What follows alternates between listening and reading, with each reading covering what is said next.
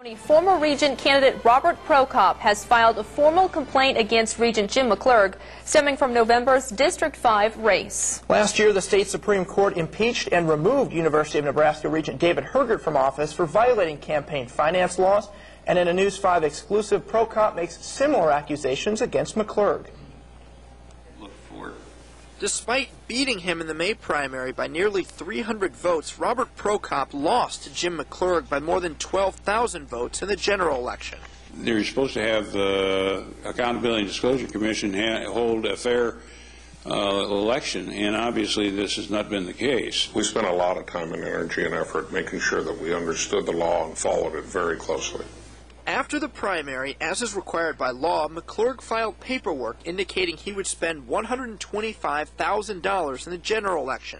Once 40% of that, or $50,000, is spent, it would have triggered public funds to be used by his opponent, Prokop.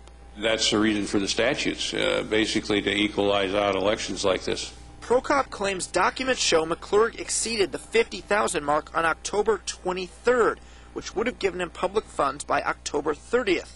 Funds Prokop says he needed to win the election. I couldn't spend any more money, and uh, uh, the opposition uh, had uh, dropped sixty-five to seventy thousand dollars in the last uh, two weeks, particularly the last week. According to campaign affidavits obtained by News 5, McClurg exceeded $50,000 on October 30th, giving Prokop access to public funds on November 6th, one day before the election.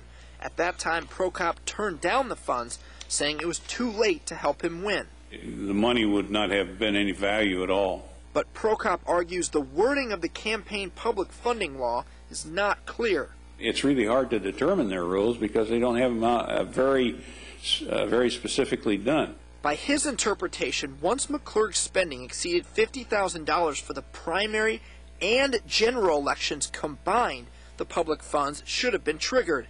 Campaign affidavits showed that would have happened on or before October 23rd, giving Prokop about $100,000 in public funds at least a week before the election.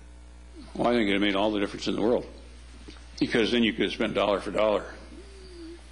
And when you're not, uh, when you're tied up with your hands uh, with regard to uh, funding, uh, there's not much you can do. Prokop says this is a misreporting of campaign finances similar to the David Hergert case, and now he wants the same type of investigation.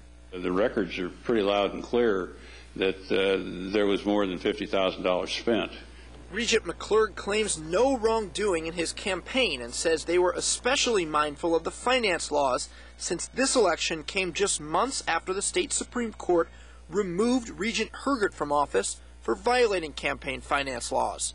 We needed to be uh, extra careful to understand and follow the law uh, with every one of our steps to make sure all of our filings were complete.